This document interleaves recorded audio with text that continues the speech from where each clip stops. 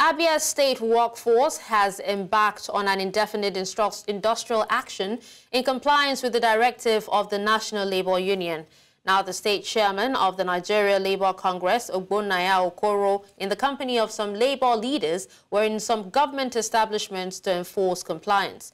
He said Labour will only back down after the federal government meets its demand of 400,000 naira minimum wage. Meanwhile, some residents of Umuahia have shared their opinions about the development. To do the needful. After a long, protracted meeting with the organized labor, NSC and TUC, the federal government in their own self have failed to be considerate. They have failed to take the, the welfare of workers of Nigeria into consideration. And the joint labor force the NSC and TUC have directed for a total shutdown all over the nation both federal establishments state establishments local government private sector be it in the parastatals or agency they are all involved wanted to work and the number of people around, don't enter the office, everywhere is locked and I, I asked Abia government to do something to improve the salary of the masses or the workers.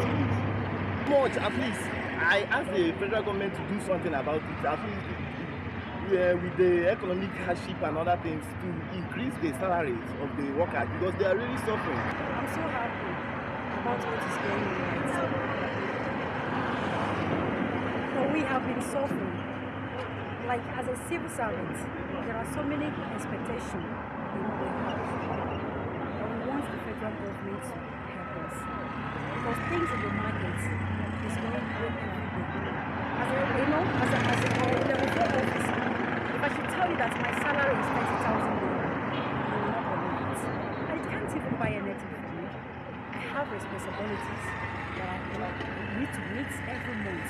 You know, coming to work every day, in a month, I was spending like 20 something thousand just for transportation. You they are begging come. The, the strike uh, is, uh, is, is a good one.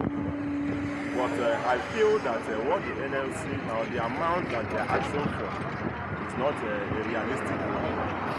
And I think they, they should be asking or they should be demanding for the right thing once and for all. Like, for example, they should try to request or demand for a central uh, salary structure for every uh, person in Nigeria, both um, the government uh, sector and the private sector. That a, a senator should, shouldn't earn money more than a, a professor in the uh, school. So I think if they can meet the government and um, get a central salary structure for everyone. All right, still talking about the strike. Uh, we have our correspondent um, Bernard Akede in Lagos standing by. Hello, Bernard. Yes. All right, Bernard, can you hear me? All right, we'll try to Bernard, if you can hear me, please go ahead and tell us what the situation report is like where you are at the moment in Lagos and how are the uh, striking workers uh, conducting themselves? Well, we just moved away from um, the Lagos University Teaching Hospital last week, where initially on, upon arrival it seemed like everything was going on as usual, was business as usual. But as we were going around and monitoring the situation, we saw a handful of union workers uh, with leaves in their hands chanting songs of solidarity. Then we knew that um, there also was compliance or would be compliance in the health sector. We were able to speak some of the officials of the Labour Congress there, and they told us that because it is the health sector and they know how sensitive that area is, that the compliance will not be 100%. Um, they did tell us that emergency units will still be operational while other units will be operating on a skeletal level. But that as the strike action eventually progresses, um, they would eventually affect certain parts of the health sector. But then again, they still reminded us that as, as far as emergency services um, are concerned, they would ensure that if there are any emergencies, they will handle that. Now, behind me is a fuel station, um, a mobile filling station, like some other filling stations within Lagos that we have seen. Um, we are beginning to see queues build up in some of these places. They are selling petrol and other products as usual, but this may be as a result of panic buying, and that's why we're seeing the queues. More often than not, when there's a pending strike action or an ongoing strike action, citizens tend to come out in numbers to buy product from fuel stations, um, just in case the petroleum sector also gets affected.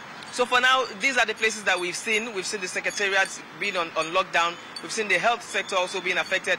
And now we're seeing the petroleum industry um, also, you know, the, the, the strike also taking its own toll on the petroleum industry. Remember that this is just day one of this indefinite strike action. Tomorrow, we wait to see what happens. All right. Uh, now we also have, uh, thank you, Bernard. We also have uh, Joshua Imarai in Abuja and Chizoba Anyanwu in Plateau State. So Joshua, uh, please go ahead and tell us what are Abuja workers saying about the ongoing nationwide strike?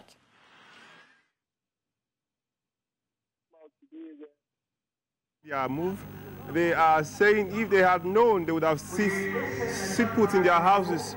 However, uh, most of them are heading back home. And one thing we must know that is that banks are cur currently on a shutdown. Now, most people who are stuck in town could not access funds to go back home. Some who needs to do one or two things in the bank have met a closed door, a shut door awaiting them in the banking sector. So naturally, this has degenerated into what might become a financial crisis in the coming future. All right. Um, what about uh, some of the hospitals? Because we also heard information, we had information that, you know, there are some students who are actually writing WAEC in some schools. Have you heard anything about that? Essential services. Information as concerning schools and hospital, but we'll do so in the forthcoming time. All right. Well, thank you. Now, uh, let's move on to Chizoba Anyanwu. Chizoba, if you can hear me, uh, good afternoon.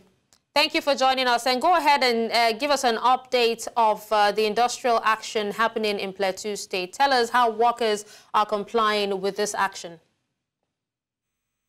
Well, thank you for having me uh, here in Plateau State, in Jos in particular, the capital city. Um, workers, especially the state government workers, are not going to work. Main gate was totally shut down and locked, you know. And then officials of the NLC and the TUC are there to make sure that no one gains entrance. And then around the city, we went around and we saw that um, the vehicular movement is just like the normal thing we used to see every day, irrespective of the strike, you know. And then most banks are shut down. A few of them that were not um, complying after the NLC executives went around to see the, the level of compliance and they were asked to shut down. Every other has been going on just as usual, you know. I am right here at the deep exam way at the popular Hill Station roundabout. So everybody is going about normal businesses, but major places of work nothing is a question. Oh, okay, I'm just trying to understand, Chizoba. Is it also a case of, you know, workers not being sure of the strike and, uh, you know, going to work before, you know, the offices, before finding out that the offices was, uh, the, their offices were being shut down and then going back home?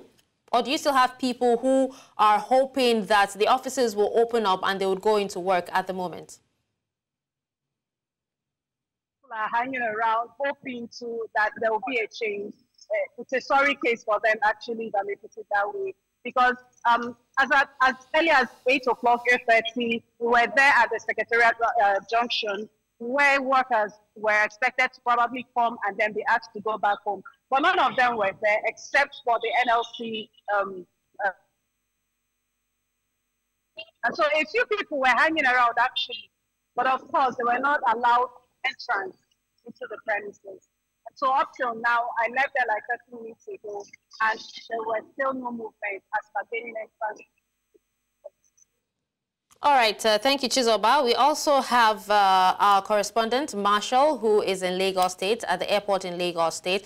Hello, Marshall. Thank you so much for reconnecting with us.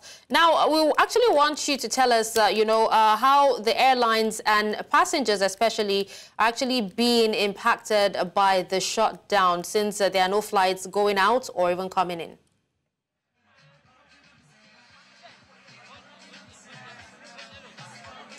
Well, as reported earlier, we had uh, the morning, you had passengers who had come expecting to be airlifted to their various destinations, and uh, they were stranded.